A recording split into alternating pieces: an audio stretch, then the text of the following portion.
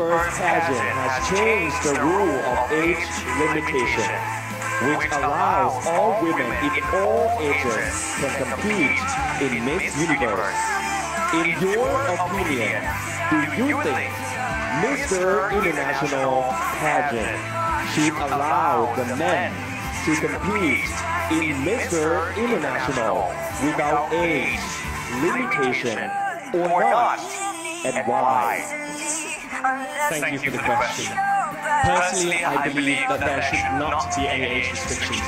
Pageantry has evolved for many, many years now, and what they are searching for is someone who is charismatic, empathetic, determined to change, and also has talent in order to represent their own, not only their own country, but the whole world. So I believe age is only just a number, and if you have the fire in yourself to be the light of glory for all, you can always do it. Thank you so much.